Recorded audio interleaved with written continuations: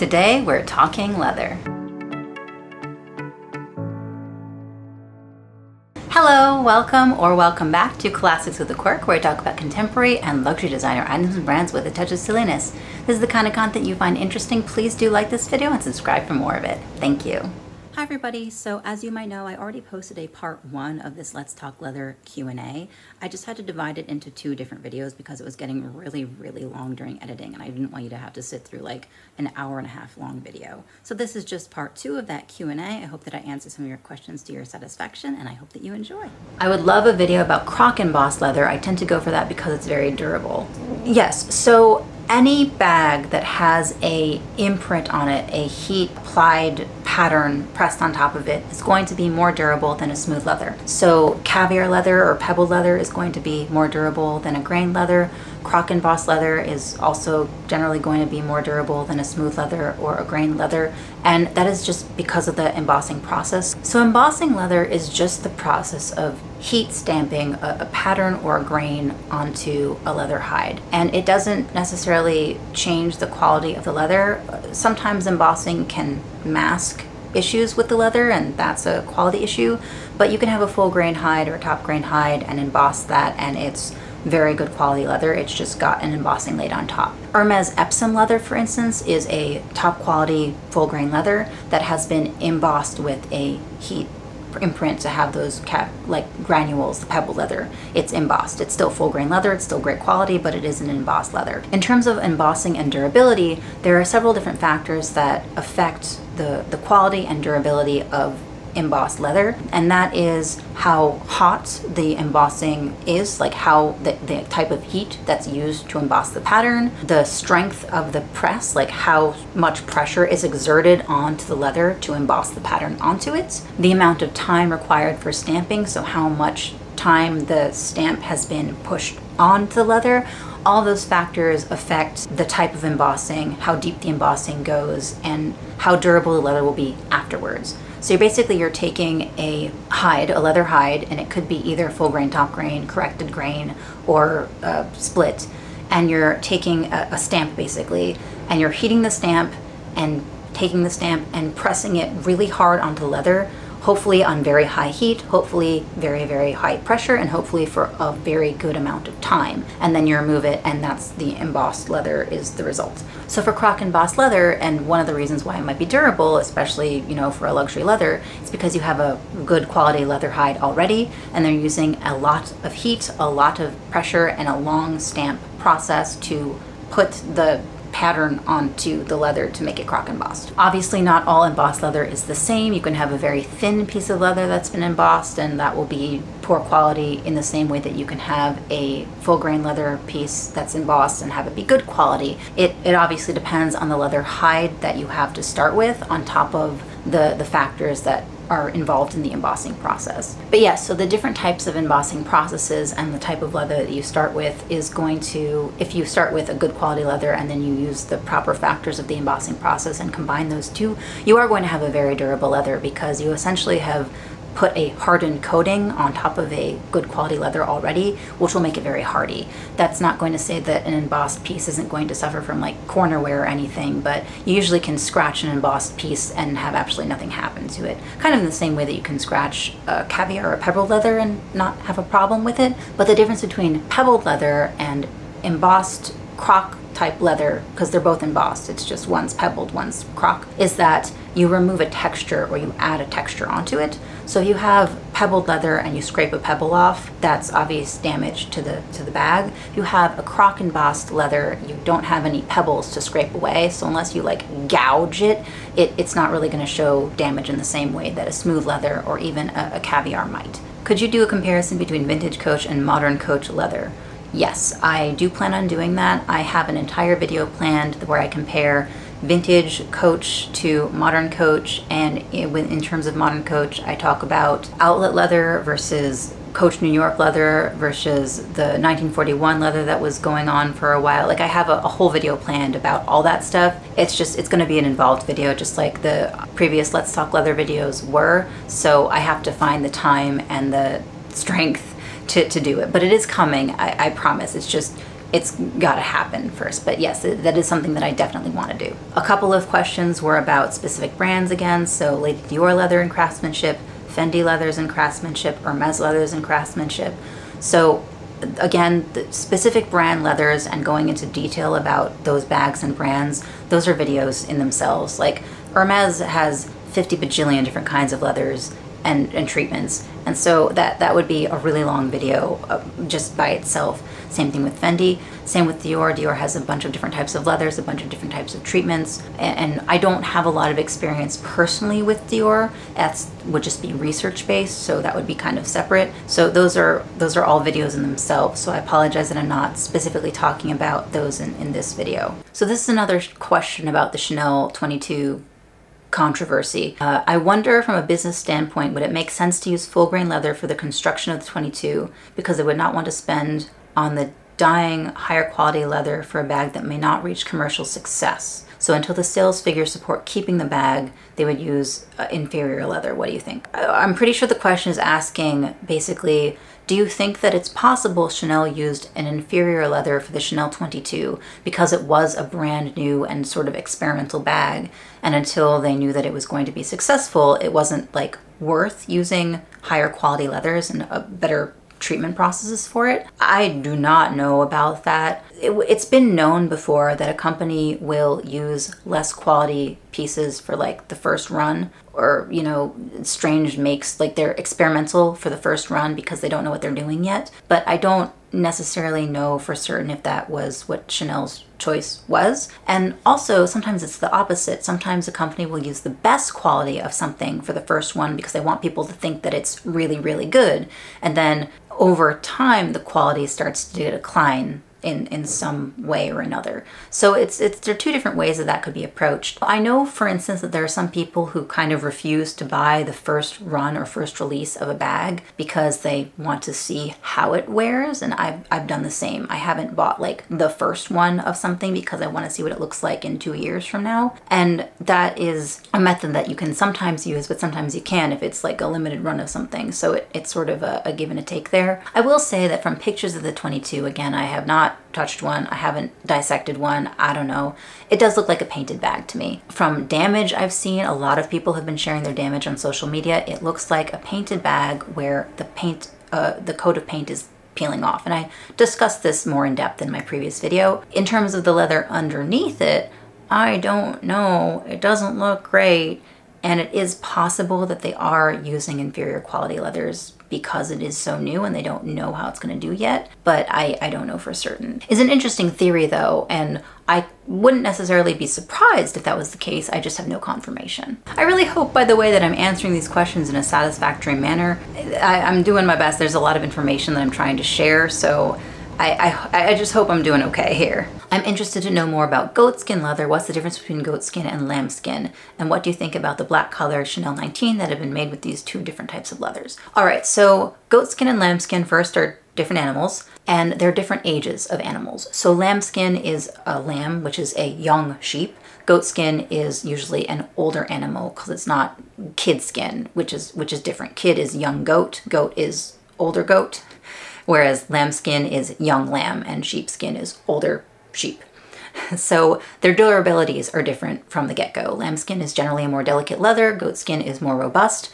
Goatskin tends to also appear tighter than lambskin leather. Like if you see pictures of goat versus lamb in the same bag, the lambskin will generally look more like pillowy and plush and supple, where the goatskin will have a sometimes more reflective, like tighter sheen to it. I can generally tell the difference between goat skin and lambskin just from pictures because they look very different. Goat skin also tends to scratch differently than lambskin does. One of the things that lambskin is most known for is that if you scratch it, especially if it's like a surface scratch, you can buff out the scratches.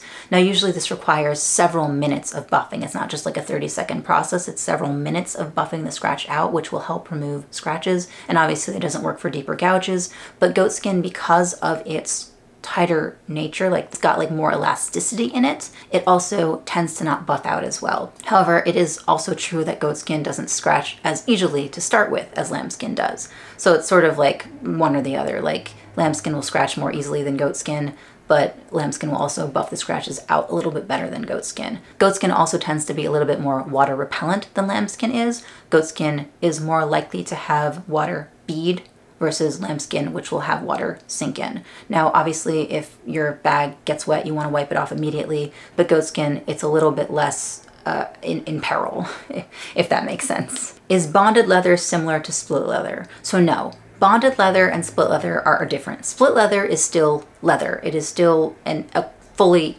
animal hide. It's just not very good quality. It's thinner. It doesn't last as long. It's not as durable. Bonded leather or, or PU leather is leather that has been bonded with plastic. So while split leather is still one full sheet of, of leather hide that's just been cut into slices. Bonded leather is like leather scraps that are like ground up in a little mush and then using plastic elements that are also melted down and mixed into this leather mush, it is then made into a, a leather type material that does contain traces of leather but is primarily plasticized. So the big difference between bonded and split is that split leather is genuine leather essentially. It's the lowest quality leather possible but it's still actual leather. Bonded leather is plastic with like leather kind of mixed in. If I had to choose between the two, I would choose split leather every time for two different reasons. One, split leather doesn't have plastic in it. I don't want more plastic. I don't need more plastic in my life. I don't need more plastic in the world.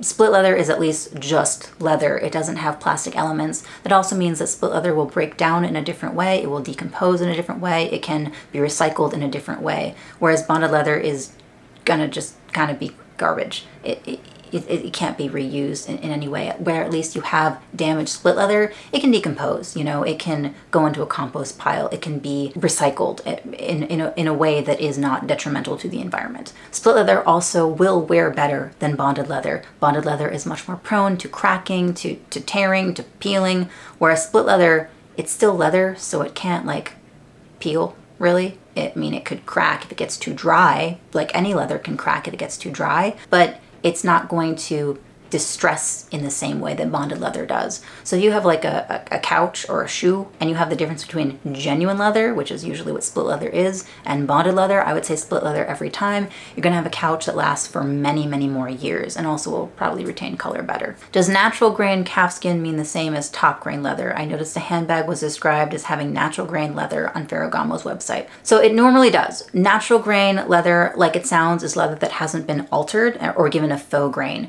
So if you have a leather piece that has a natural grain on it, that means that it hasn't been adulterated in any way. Uh, so it is not split or genuine leather that's been embossed. It's not top grain leather that's been embossed. It's just full grain leather that has a grain to it. Normally, natural grain leather is leather that's been tumbled in such a way that it pulls out the natural pebbling in the leather so you can see the texture that belonged to the leather itself. But that's not necessarily what it always means. You can have natural grain smooth leather that's smooth, but if you have textured natural grain leather, it's been tumbled but not embossed. I've had several different people ask me about Coach, so again, I'm going to be doing a, a, full video, dedicated video about Coach leathers. I have a question about lambskin leather. Is there a way to recognize a more durable one between different lambskin leathers? I'm thinking about new Chanel minis to be precise. So texture, size of the pores, wrinkles, puffiness of the quilts, etc. So this is probably not the answer that you're hoping for, but the answer is kind of yes and no. A lot of my ability in, in terms of telling leather quality, especially from just looking at it or just touching it, comes from experience and, and many years from of doing this and learning and kind of training my fingers and training my eyes to learn about what leather feels like when it's of different qualities and of different durabilities. However, if you don't have these years, it, it can be a little bit trickier to kind of tell quality and construction just from looking at it, especially if you don't like have, you know, a microscope or something to really observe the different like layers of the texture. However, and I don't know how helpful this will be, but in terms of Chanel lambskin leather, there is usually this slipperiness versus a roughness that you can feel that will sometimes help you determine whether or not a piece is more or less durable than another. So if you take, you know, a lambskin bag or, or SLG or something and you rub your thumb or even like a knuckle over it, you'll feel kind of how your finger like slides across the, the lambskin. And if the lambskin is very, very smooth as opposed to slightly rough to the touch, that can help you determine its durability. A lot of very delicate lambskins are incredibly, incredibly slippery. And I don't just mean soft, I mean there's a lack of texture. And that is often why they scratch so easily. It's because the lack of texture kind of lends it to being able to be scratched like with just like a nick of a nail or something versus a slightly rougher textured lambskin. Still soft but the texture itself is is slightly rougher. That is less likely to catch on things that can scratch it which might lend to it being more durable now of note even in my vintage lambskin bags which are beautifully soft and smooth and supple they do still have a little bit of a roughness of texture to them, as opposed to some of my other lambskin pieces, which have a very slippery feel to them. And I don't know if that's getting my point across very well. Maybe I'll try to dedicate a full video to like just how different things should feel and look. Let me know if you'd be interested in that because I, I, think I could do it. I just, I don't think I can do it like on the spot right now, not completely prepared. In a previous video comparing caviar and lambskin Chanel, you mentioned that Rev pieces are the highest quality full grain vegetable tan hide. Is Chanel still using this? All right, so Rev, for those of you who don't know, REV Chanel pieces are the pieces that come out every season. So it's like the classic flaps in the, the classic black, in the classic beige clear. It is the card holders in the classic colors. Those are Rev pieces. They come out every single season. The pieces that are seasonal pieces or colors are going to be like 22P or 19S or 23B. Those are the pieces that aren't Rev. They aren't colors that come out every single season or they're not bag styles that come out every single season. So uh, yes, as I mentioned in a previous video where I discussed Chanel caviar versus lambskin leather, the differences between the two, similarities between them both, different qualities of them. I'll link that video for you. I discussed that Rev pieces are made of full grain, top quality vegetable tan hide. Is that still the case? Well, so there are three different layers to this question. Is Chanel still using top quality leather? Are they still using full grain leather? And are they still using vegetable tanned leather? And I don't know. I haven't been told any different, but I haven't also been told that they still are doing those things. I would be very surprised if Chanel moved their Rev pieces from vegetable tanning to chrome tanning because that would, first of all, upset their entire system and their whole reputation, truly. And I, I don't think that they would do that because that would mean also, it would mean just getting different tanneries and different sources and different like people that they were working with for a period of many years. So I don't know if they would just like completely switch operations from like these factories to these factories. They could. I don't see why they would all of a sudden, but they could, but I, I hope they don't. In terms of top quality leather, full grain leather, I only have a couple of Rev pieces from the current season. I have a flap card holder and I have a flat card holder. My flat card holder is in lambskin, my flat card holder is in caviar, and those are the two pieces I have from 2022. Now those two pieces both seem fine to me. They do seem to be in good quality, they seem to be well made, they seem to be in good shape. The lambskin on the flat card holder is a rougher texture which does, as I mentioned in a previous question, which does lend me to believe that it's going to be a more durable lambskin leather, but I do feel that it is going to supple over time, not become more delicate over time, but I do think that with time as I age it, as I patina it with my fingers, because that's what I bought it for, I do think that it is going to supple over time. And in regards to both of those pieces, they both are full grain leather. You can see the pores in them. They they look like full grain leather. They feel like full grain leather to me, so I don't have a reason to believe that they aren't. Now, I, I do believe I already said this, but it is very difficult to make lambskin pieces, smooth lambskin pieces from lesser quality hides because if you do so, you sacrifice the integrity of the leather itself in the piece. So if you have a lesser quality hide that has like marks in it and you use it for a bag, the bag is going to have like a mark in it. That being said, a lambskin card holder is a very small item, so you don't have to use a lot of animal hide to, to make it. Whereas the Jumbo Classic Flap is a lot of animal hide and it's a lot of big pieces of, of animal hide. So you have the flap, which is, which is one piece of leather that is caviar embossed. Is that caviar embossment possibly to hide the fact that the leather itself is a lower quality? Still full grain possibly, but like a lower quality full grain? Yes. I haven't looked at one, but it is entirely possible that it is true.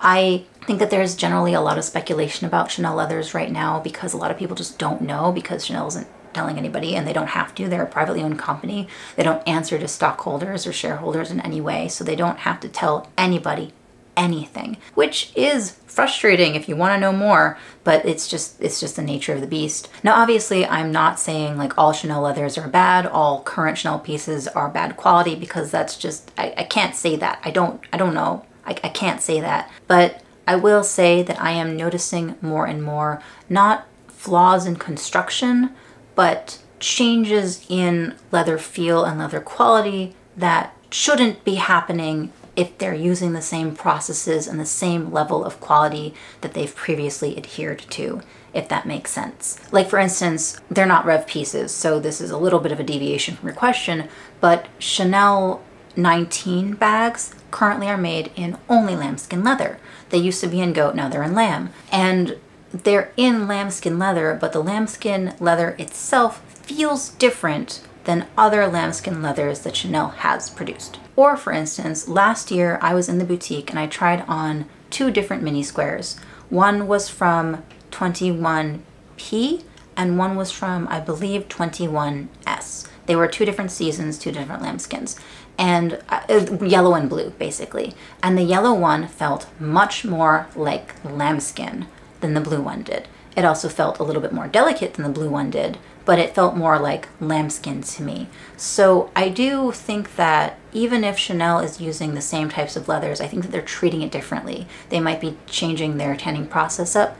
They might be changing their dyeing or treatment process up. It, there's a lot of different factors that go into creating these pieces. I do know that older bags definitely were, like 2018, 2019, they might have been not well made for some people, but in terms of the, the leather itself, I, I've found no problems with the leather itself.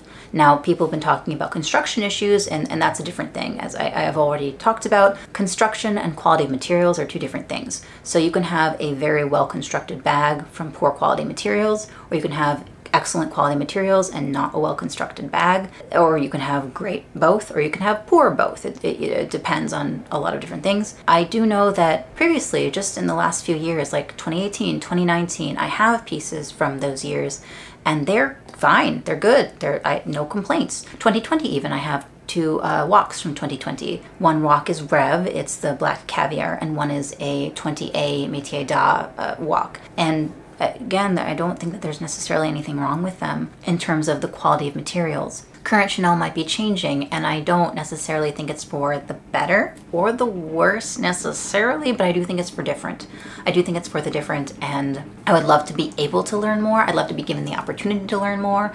I don't really know how to right now, but I would love to do so. If you have any suggestions, uh, please feel free to let me know. I think that's all the questions I have in me today. I've been filming for about an hour and a half, so I'm gonna have to cut this down. I hope that this is fine. I know that I went off on a couple of different tangents, so I hope that I answered your questions as best as I could. And again, some of these questions are going to be separate videos, so I hope that is also okay. If you have any other questions or want me to clarify anything or want me to do a second Q&A leather-based video, please feel free to let me know in the comments down below. I'd be happy to. This is just, I think, all I've got in me for right now. I hope that you enjoyed this video. I hope that it was interesting or helpful in some way. I hope that it was understandable, if not completely comprehensive.